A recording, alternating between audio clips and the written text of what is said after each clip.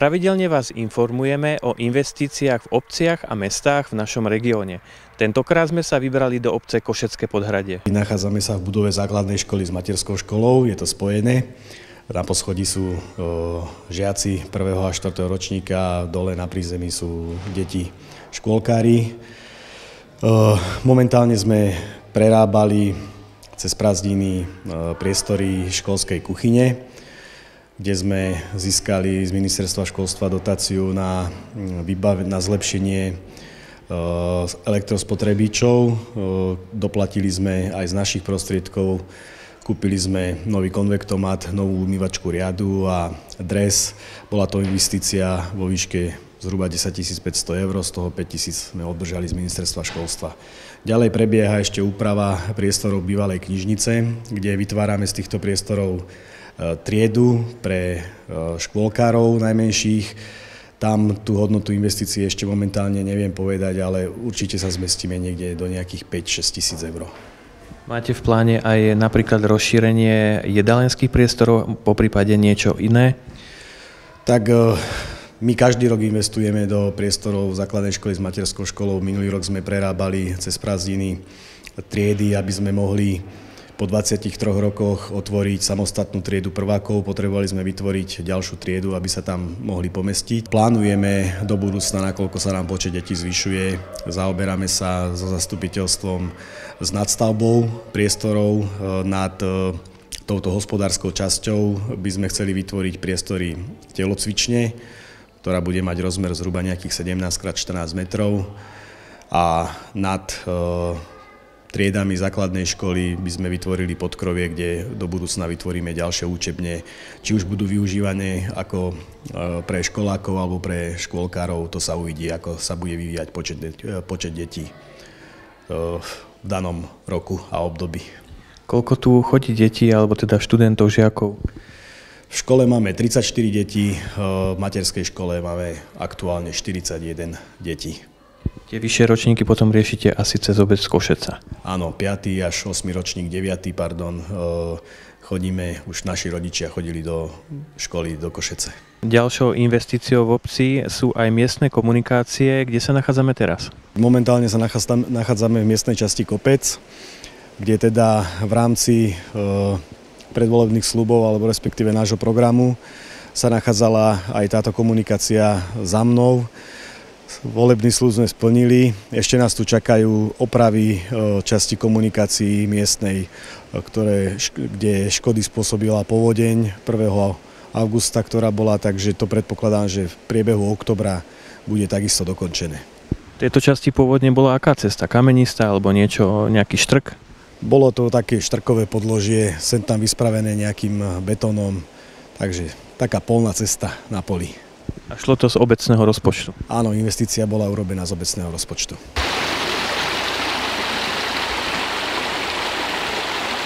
Nie je to tak dávno, čo vás postihla ničivá zaplavová vlna, nachádzame sa v kopci. To korito potoka je už upravené. Ako k tomu došlo? V rámci priamých záchranných prác robilo úpravu e, korita potoka po vode váhu z Nimnice.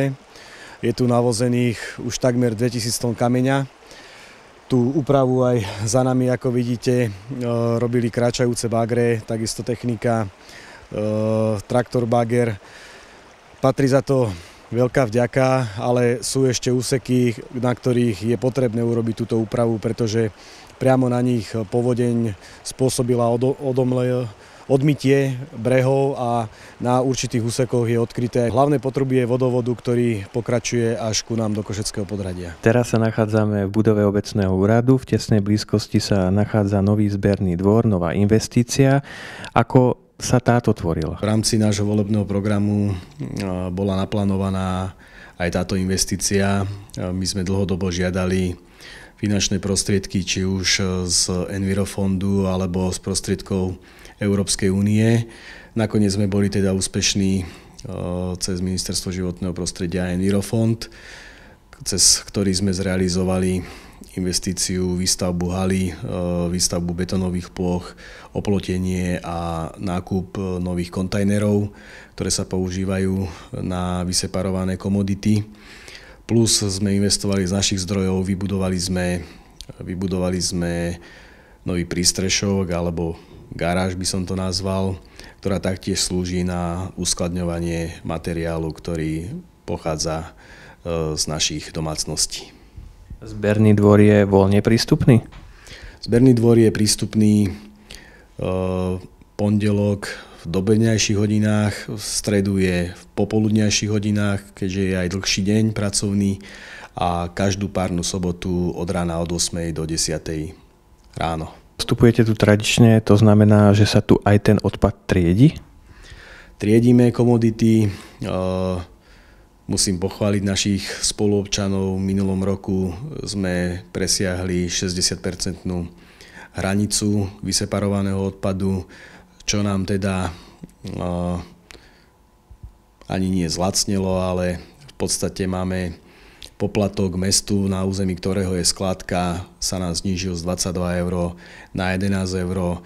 Niečo sa nám zvýšilo na dopravných nákladoch, nakoľko skladka, ktorá fungovala v Dubnici na Lieskovci, bola uzatvorená, takže odpad sa vozí na vzdialenejšie skladky.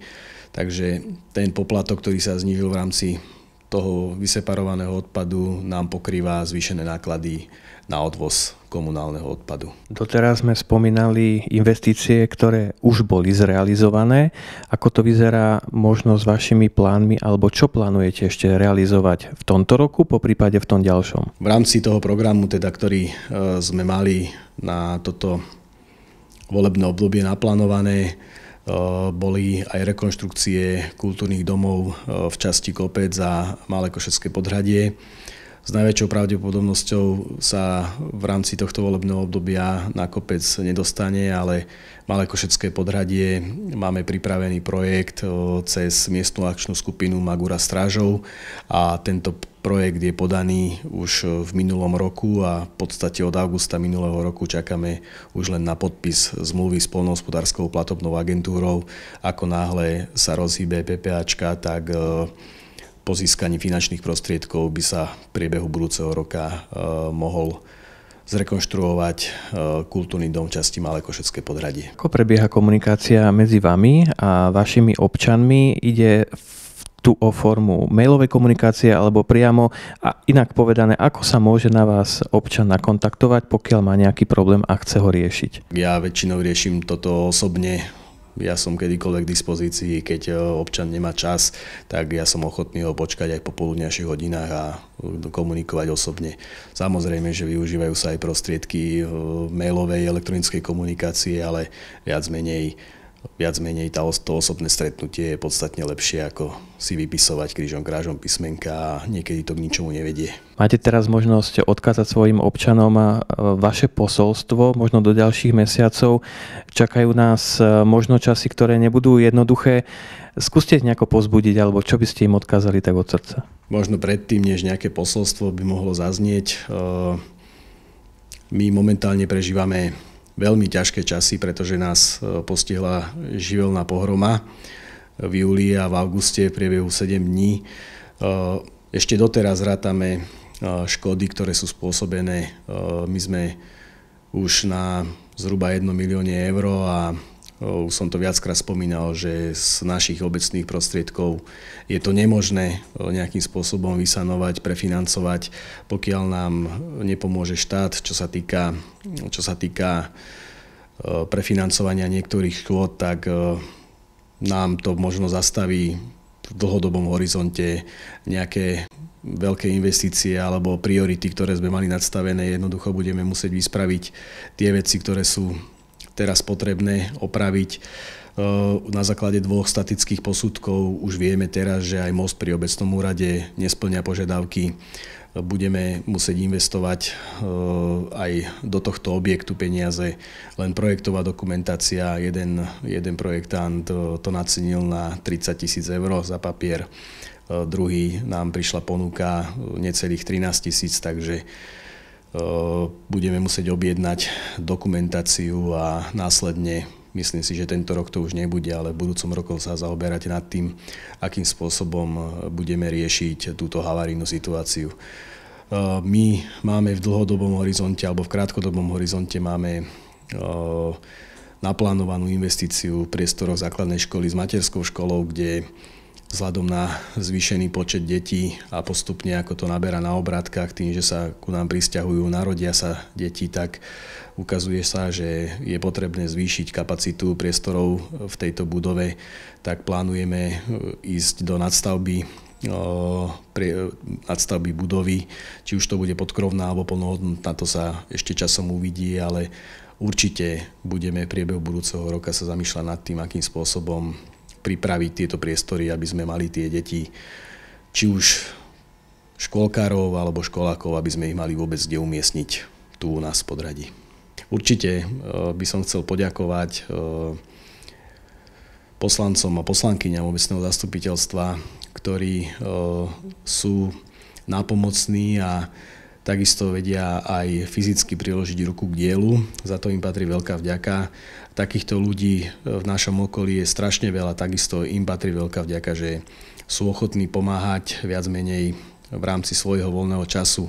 Treba poďakovať všetkým zložkám, či už sú to dobrovoľní hasiči, polovníci, únia žien, urbárske spoločenstva v malom podradí, vo veľkom podradí. Takže fakt tých ľudí, ktorí chcú pomáhať je strašne veľa a ja osobne sa im chcem taktiež za to poďakovať.